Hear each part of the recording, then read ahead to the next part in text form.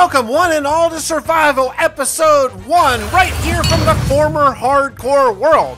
This brand new series is going to be set in the same world as my 23 episode hardcore world. I didn't die, I feel that that would be disingenuous of me to die and then come back as a survival, but I decided that I want to make sure this series lasts for a very long time. We are into kingdom building and lore and storytelling here. If that's your bag, you're going to love it here. All the stuff you're seeing above, that exists in this world. We are 2,300 days in and going to keep going. But don't worry, if you haven't seen the old series, this is a great place to get started. Get your feet on the ground because I'm going to introduce you to all the main characters of our lore and catch you up on the story really fast. You can start here and be good with a clean slate.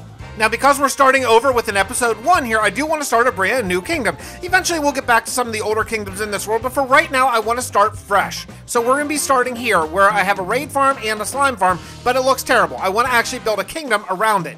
This is going to be the kingdom of the Abon, and these people are going to be very sort of Mayan-influenced architecture, and I also can collect all of this mud and mangrove wood and leaves that I really need to flush out this entire kingdom. I moved my beacon so that I could harvest things a little quicker, but I don't have a single ingot. So jumped into the nether and grabbed a couple gold just to make an ingot so I can start up my beacon. This area that you see right here is going to be the kingdom of the Abon. It's going to be all within the island surrounded by water, and I think I want to do a custom landscape around it. But if I'm going to do a custom landscape, that's going to require a ton of digging. That's okay, because I live stream basically four days a week, essentially on Twitch, Facebook, and YouTube, so you can check out any of my live streams right there. But so I dug down to the very bottom of the world, I put down my beacon. This is probably going to be here for a very long time. I got my beacon all set up with haste and I'm ready to go. One thing I do want to mention, there will be a lore segment. Now, back in the hardcore series, I would do up to four lore segments per episode. This is going to be a little bit different. There's going to be one lore segment in the middle, but it will be longer than anything I have ever done before. Then there will be an epilogue. You don't want to miss the epilogue because it sets up the future. Every episode is going to have one. Don't miss that. They're usually great. Oh man, look at this. This looks so good. There is one tiny little problem though. That mountain over in the right, it's got to go. It's got to go. I want this whole area to be basically flat and then I will rebuild up some custom terrain, but I need to get rid of that mountain first. Oh man, I'm not looking forward to doing a giant, horrible landscaping project right off the bat, but I think I gotta do it because where I want to build, it's basically connected to this. So let's go.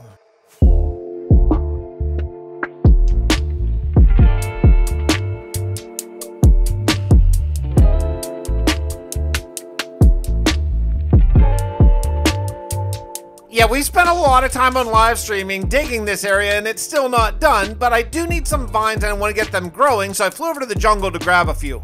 I can't believe as long as I've had this world that I've never done a vine farm, but I surely haven't, and I'm gonna have to do probably a manual one for right now, and maybe we'll figure out a better system later.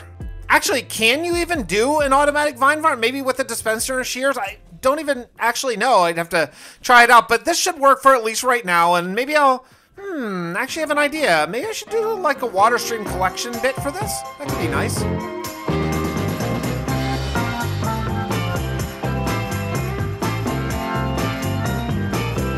I do need to head back to the old world because I need to pick up a couple things in New Hope and then head to Steelport.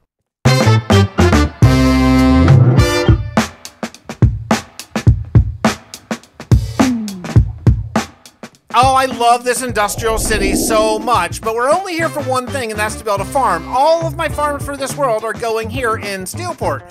I want to make a moss farm because that's going to be a primary building block of what we're going to be working on this episode and the entire Abon Kingdom, really. So I found a great design, and, well, let's get to building.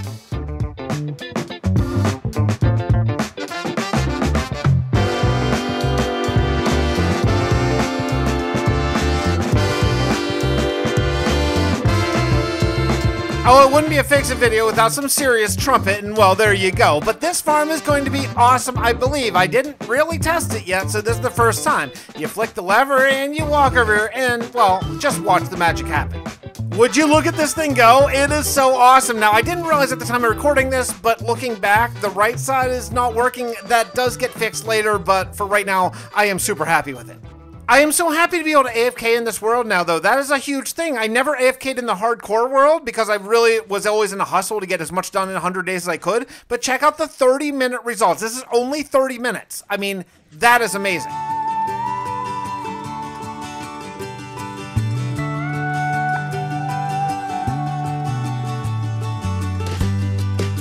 I'm going to start this kingdom with a bang. We're starting on a huge structure. It's going to be kind of the king, or, well, Levin is the word in the Abon language for king. It's going to be their palace. And yeah, it's, it's tough to start a build with the biggest one, but I think I really need to to sort of set the flow for the entire rest of this culture and civilization. Another thing I want to do on this channel, which is fairly new for me, is I want to work on gradients, but I don't want to just go that standard dark on the bottom, light on top style. I saw something done by my good friend Jermsy Boy, and I want to sort of learn that style, which is a lot more of a mixture. I'm building this entire palace up over the slime farm, so I had to build a square. Now, the square can't be that big because the raid farm is right beside it, and I don't want to sort of get in the way of that. I want that raid farm to still work if, heaven forbid, I need more totems. Just in the time it took me to lay out that one little square, the vines have grown, and my goodness, this is really slow, and you got to do each one individually, and yeah, okay, I got to work out something a little better for this. This is rough. One of the things I did in the first couple episodes of my hardcore world is I got a whole bunch of villagers that sell all the different enchanted books that I might need to replace my gear. The thing is, in a hardcore world, you don't really need to replace your gear, because if you need to replace all your gear, well, you probably lost the world. I didn't really think about that, but now that it's a survival world, well, I may eventually need to replace my gear. So let's cure a couple more villagers. I came back to New Hope and I noticed that one of the zombies either despawned, got killed, never existed, or something because I only have a zombie on one side and not the other. The problem is the other side is where I need my zombie because I actually have an Unbreaking 3 villager that I've never got a zombie and I've never like cured him, so the deals stink. Okay, I just skipped like an infinite amount of time just to get this one zombie in this one place. He was so uncooperative. He did not want to be trapped. But finally, I got him. I plopped a name tag on him. He should be good there forever. However, it didn't take long to realize that he's not attacking my villagers. I don't know why. They're down, like they're down low enough. I, I don't know. I don't know why he's not attacking them. I don't know. Uh, look, he just come on, zombie, do it. Do your thing. I don't know, maybe he just wasn't hungry, but eventually, finally, he started taking a few little nibbles and turned all three of the zombies I want. Two villager for books and actually one cleric, because I want to get rotten flesh trade just for emeralds. Did I tell you why I'm doing this? I don't think I did. The reason why I'm doing this is because I want better shears. I, my shears are so bad, they just break constantly. Yeah, I have lots of iron, but why not get a pair of Efficiency 5 Unbreaking Mending shears? So I need to get my Unbreaking deal. Hey, here's a Jack-O-Lantern. Oh yeah, right. Happy Halloween, everybody. I'm recording this bit on Halloween. I was just ready to leave, but then I thought, oh wait, I have these two Fletchers from like day one of my survival world, so why not convert them too? So I did. I mean, brewing gold, it's not that expensive for me anymore. And finally, finally, finally, I got a whole bunch of unbreaking books, and now I have two mending, two efficiency five, and two unbreaking, and I can enchant two pairs of shears just to go to work on these vines. This is going to be kind of cool, though, having a cleric in there because thanks to my mob farm over in Steelport, I have tons and tons of rotten flesh. So having a cleric and access to emeralds, this might actually be easier than the book trade, honestly. I return back over, and this is so crazy fast. Oh, I love it. I love it. I love it. I need some sort of automatic collection bit now, but I do love this. This is going to be really, really helpful for a ton of mossy cobble. I am going to go ahead and do this collection thing. I've been thinking about it and talking about it for a while. Also, I want to get all this mud. If there's mud on this entire island, I'm going to harvest it and just replace it with something. Also gravel. I, I'm taking it all. But in the meantime, let's check with our lore segment for today's video.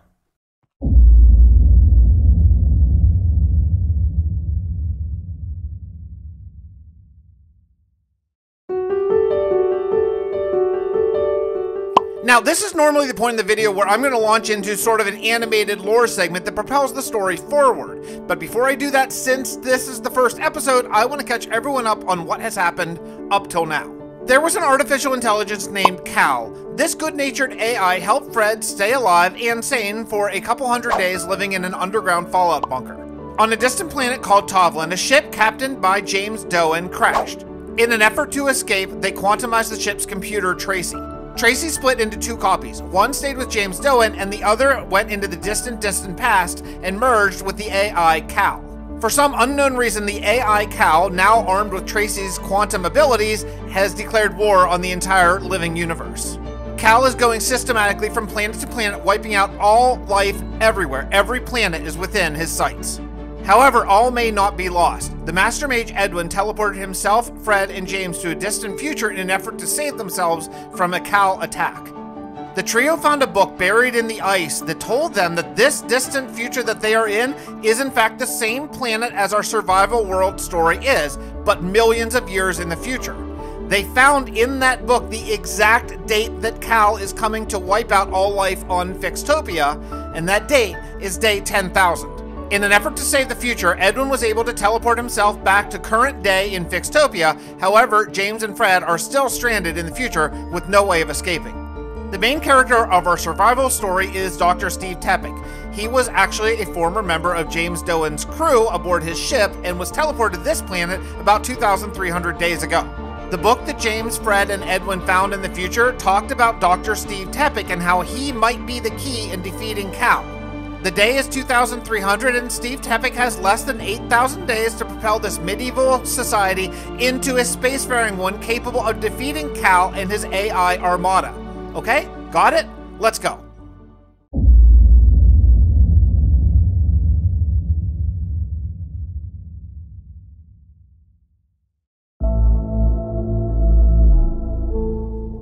Can't help but marvel at this machine Dr. Tepek was able to build in such a short time. I have been gone for nearly half a year. I hope my friends James and Fred are okay. The future they are trapped in is harsh. Tracy, connect to the future node. Connecting. Hello? James, it's good to hear your voice. Edwin? Edwin! Fred! Edwin is gone through the ark. Are you well? We are, but. Things have gotten worse here. Things were bad before I left. How much worse? A lot. Uh, the cold is overcoming our ability to keep it warm. We may have to retreat underground soon. How did you get there? Steve told us you were lost to the void. I was trapped for a time, but able to claw my way out. I am safe here, but, as the Oracle foretold, have very little of my old power. I am sorry, old friends. I'm sure it's hard to lose those abilities, yet again. I am traveling to a people called the Abon. I believe they were the authors of the book we found that told of the artificial intelligence attack on this world. If anyone can help me put the pieces together, I believe they can. I will do everything I can to bring you two here, but without my powers, I'm not sure. Don't worry about us, Edwin. Go to the Abon and save the future. The idea is all these trees have to go. We have to clear this land so we can build. Clear the land. Akshasiti Zemyul. Get it? Ugh, I'm gonna have to do it myself.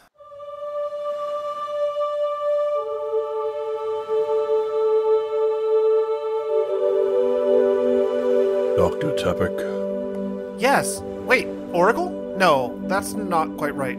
Edwin? I'm so glad to see you. yes, it is good to see you as well. I had no idea where you went when the Oracle sent you away. I was trapped in a kind of prison of the mind, but able, eventually, to find my way out. That's great news, but why are you here? I've come to make a trade. I spoke to Levin Fond, the king, and arranged an exchange of sorts. I will stay here and research, and he has agreed that you and a Mr. Grady, I believe, may return to New Hope. I can't let you do that. I came here willingly to help the Abon rebuild their kingdom. Steve, the Levin is interested in my specific knowledge set. He is more than happy with the work you've done, and you are needed elsewhere. The Breath of the Dragon is doing a commendable job at New Hope, but you are needed to oversee the growth. I have no knowledge of spacefaring technology. I can't let you become a prisoner here just for me. Well, I will be the King's counsel. You'll be. Wait, what? You just met him and you're going to be his counsel? Go find your family and get Mr. Grady out of his cell. I will be in contact soon.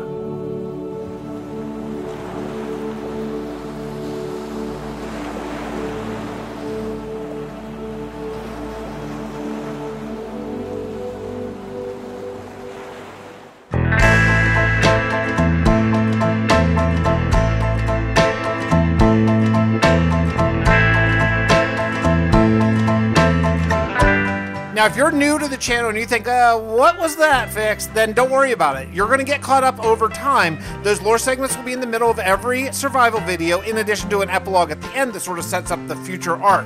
I'm going to catch you all up to speed over time, so hang in there through lore segments. Even if you don't get it, you will, and you're going to love it. I was able to get a little bit of glow lichen and a piece of andesite, which actually completes my gradient. So I'm not totally sure that I'm going to stick with the andesite, but I think the gradient right now, I think is pretty good.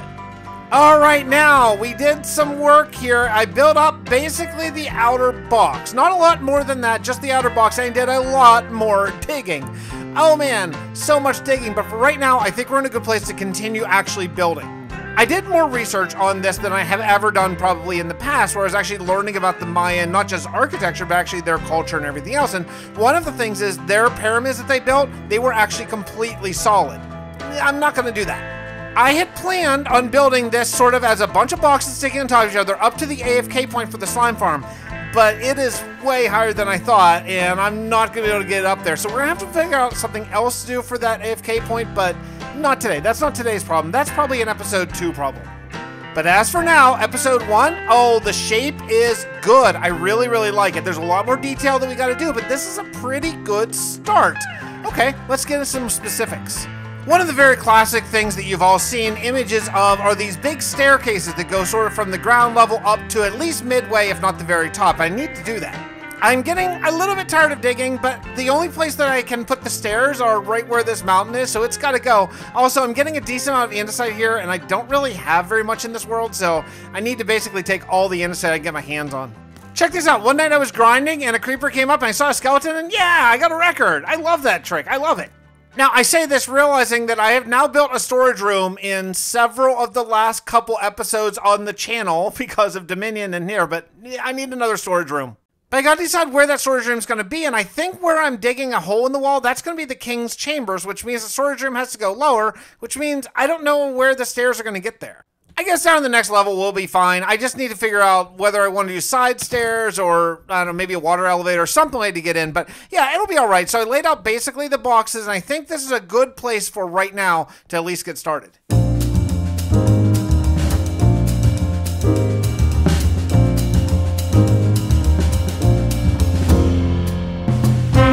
Oh my goodness, that took so, so, so long to move all the chests I had outside into a sorted out storage room. I really wish I did automated storage, but I just don't. And anyway, if I was going to, I'd probably do it in Steelport.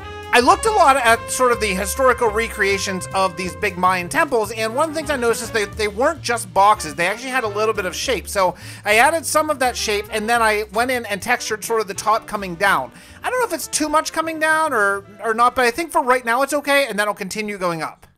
I really do think this is starting to look the part. Like, I want each of the tiers as it goes up to have less and less gradient. My thinking is that the lower down, the closer to the treetops and to the upcoming jungle that's going to fill this area. So it would be more mossy, and then to the top, maybe not as mossy.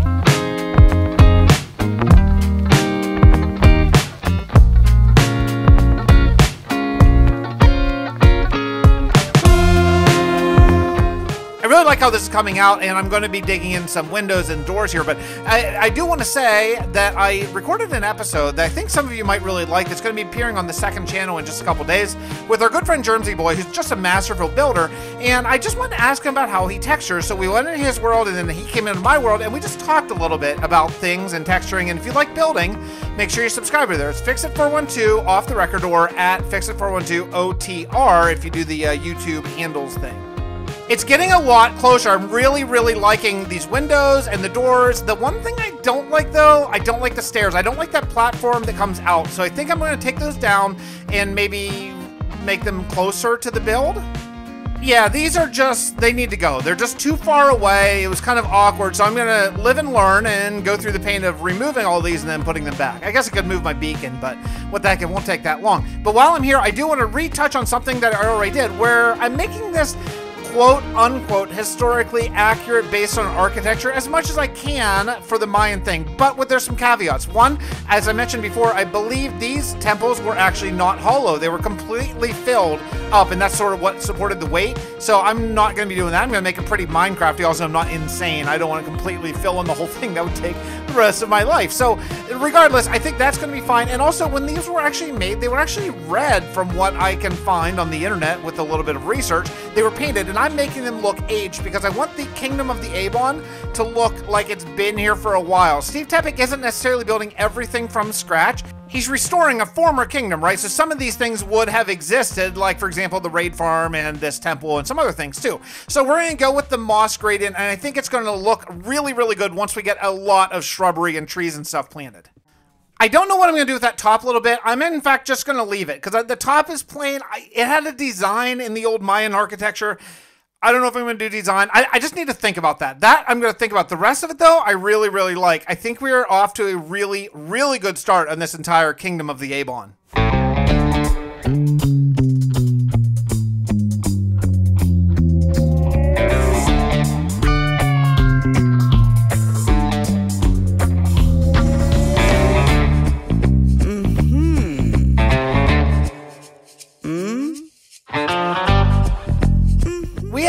Long Dominion meeting and then hang afterwards about just season two and how it's going, vibe check, all that kind of stuff. It's all good stuff. I can't wait for you to see what's happening on Dominion SMP. But I had like four hours of grind, so I just decided to cut the rest of this mountain down and be done with it. So I did, and it's done. All right, cool.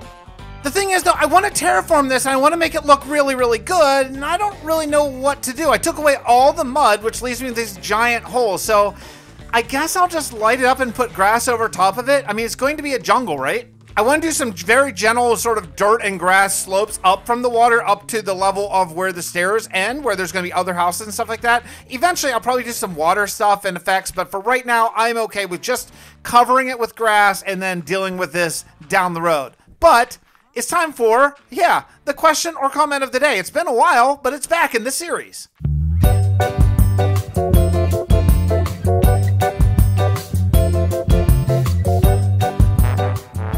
While I'm placing grass, the Lacan says, OMG, I saw finale. I was so worried, but I can't wait for the new series and all the future videos. And I don't have TikTok or Facebook, but I'll happily watch as much lore as I can here. So that brings up a great thing for me to talk about because I, I tried something and you all spoke and I heard you and I wanted to let you know I'm adjusting course. So I really tried to do some Facebook exclusive only lore things. Now, some of that is still going to be there, but most of it is going to be found as well on the second channel right here on YouTube.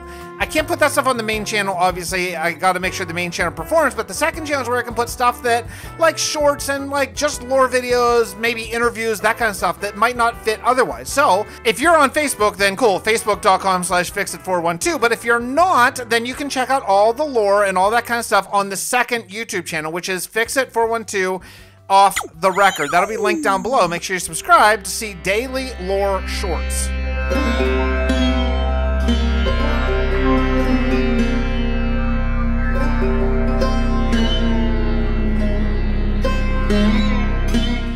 I do need to go to the end here and remove all of the man-made stuff I need, except for the Ender Ender. I'm going to keep that there, but all the like bars and any of the stuff I use for killing the withers, that's all going to be hidden and gone. Because all the sets I use for the animation bits, they're all actually in the world, and I actually build them all sort of in survival. So like this concrete uh, cobblestone thing, it's it's got to go too you might be saying, but wait, I just watched the whole lore segment and, and I didn't see anything. It just, it just wait, just wait. Don't miss the epilogue.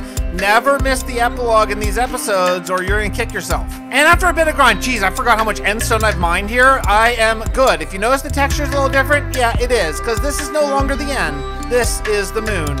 I returned back to Gabor because I have a little bit more texturing. I forgot to texture the stairs and they look ridiculous if you don't, so I gotta texture those you know, one of the things I really, really want to do is I want to do a custom biome, and I'm a little bit split if I want to be a jungle or a mangrove swamp. Since I'm taking down all the mud and all the mangrove trees, it really can be anything. I'm just looking at this jungle and kind of seeing how it's sort of pre-gen before I make any decisions. Since I have a ton of mud, and since all the buildings in this area are probably going to be like gray-scaled and with some green and stuff, I wanted to go with the brown mud and coarse dirt roads. I think it's going to look really, really, really good. I think this is a very simple and nice mixture. If I'm gonna build out of jungle, however, I'm gonna need a lot of jungle saplings, jungle leaves, and jungle wood. I'm still not really sure. Maybe I'll do like a combination. I'd like to do all custom trees, but that depends. Regardless, I need to farm a whole lot of jungle saplings. I have basically none in this world. For right now, just for this episode, I just planted some vanilla mangrove and some vanilla jungle trees, and I think it's cool. I think I'll probably end up replacing those with custom terrain later, but for right now, I think it's a really cool look in a lead up to the very first temple of the Abon. But with that, I think we're all done with this. This is a great start to a brand new series. I hope you're as excited about it as I am. I am super, super psyched. I think the style is really cool. It's a lot different for me, and it's going to be awesome when we get a nice, giant, huge, sprawling kingdom that's going to completely surround this old Mayan raid farm that we have right now. Oh, I am psyched. I hope you watched my video 100 Days on the Moon because the epilogue starts right now.